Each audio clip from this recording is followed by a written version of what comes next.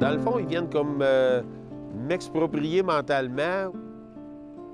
C'est pour fragiliser le milieu agricole. Des terres agricoles de grande qualité, progressivement envahies par le développement domiciliaire. Le phénomène est bien connu, souvent décrié, et pourtant il continue. Ici, la division entre développeurs et agriculteurs est plus forte que jamais. Le passage du temps n'a rien résolu. Après l'échec de l'aventure aéroportuaire, l'arrivée massive des banlieusards et des industries accentue le choc entre deux mondes. Un défi emblématique. On est sur le terrain que la ville m'a exproprié pour faire éventuellement un parking pour la gare. André Lapointe, producteur de lait et de céréales, héritier du savoir-faire de son père et de son grand-père, se bat contre le projet de gare comme un Gaulois contre l'envahisseur depuis plus de dix ans. Il constate maintenant qu'il est en train de perdre sa bataille. Je suis le seul producteur, cette terre-là, de chaque côté de moi, ils ne vivent pas d'agriculture. On est à veille d'atteindre le 55 000 de population. On émet 1000 unités de logement par année. Alors, 1000 unités fois 2,5 par famille, c'est tout de même 2500 de population année après année qui viennent s'établir dans la région. Les élus municipaux de la région de Mirabel réclament cette gare depuis 2005. Le maire actuel est confiant de l'obtenir sous peu. Notre population revendique euh, ce service-là depuis euh, une décennie. Et nous, ben, nous avons mis les efforts euh, nécessaires et heureusement, même le gouvernement précédent l'avait accordé. Donc, on ose croire d'ici 2019, même les travaux débuteront. Le projet retenu prévoit l'aménagement de vastes terrains de stationnement et d'un quai d'embarquement au milieu d'une zone agricole protégée. C'est clair que dans le contexte métropolitain, euh, construire une gare en zone agricole, c'est lancer un message dans la mesure où le plan d'aménagement métropolitain nous dit qu'il faut dorénavant qu'on densifie autour des points d'accès au transport collectif.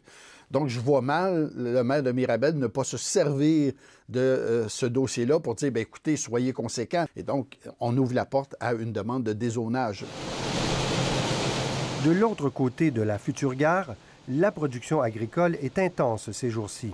Depuis 20 ans, le secteur ici a beaucoup changé. Stéphane Lapointe tente de sauver sa récolte de maïs malgré les chutes de neige prématurées. Il souhaitait aussi ajouter un troisième poulailler sur sa ferme. Il a choisi de le construire ailleurs, dans une zone moins menacée par le développement. On ne peut plus investir à une place où ce que peut-être dans 20 ans, on se fera pointer du doigt qu'on est de trop. Juste le trafic, là, soir et matin, ici, il euh, faut choisir nos heures pour se promener euh, en tracteur dans le chemin. C'est pas. Euh, la route n'est pas conçue pour recevoir un flot de, véhicules euh, à pu finir. Mais j'ai tendu du fumier, là, puis il y a 800 places de char, c'est là, là.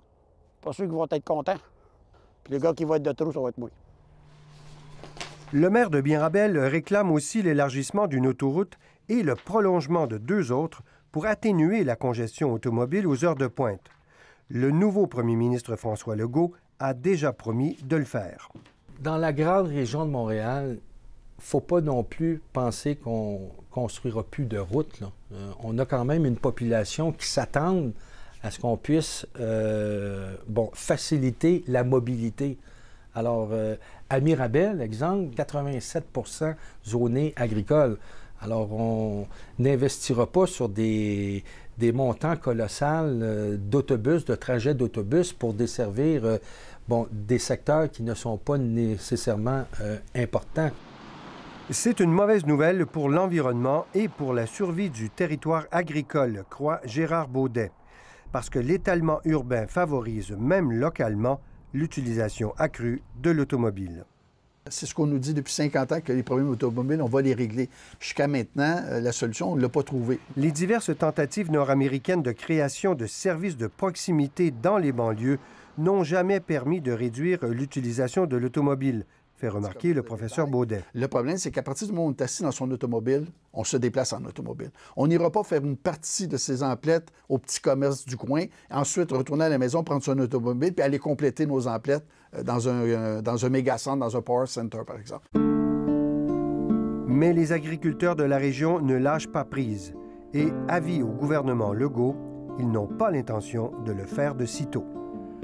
Ces terres-là, là, ils ne m'appartiennent pas, ils appartiennent aux autres générations qui ont passé avant moi, puis moi, je vais la laisser à ma relève. Fait que moi, là, je ne suis que de passage, cette terre-là, puis l'argent, là, c'est, ça n'a aucune valeur. Vous me suivez?